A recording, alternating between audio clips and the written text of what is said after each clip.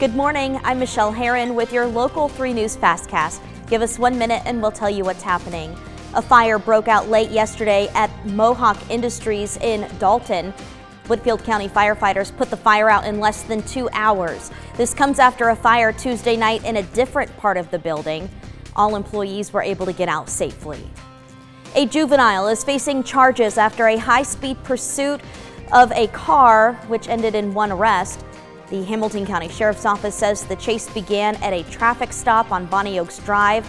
The driver sped off, reaching speeds of about 90 miles per hour. Deputies found a loaded gun in the back seat.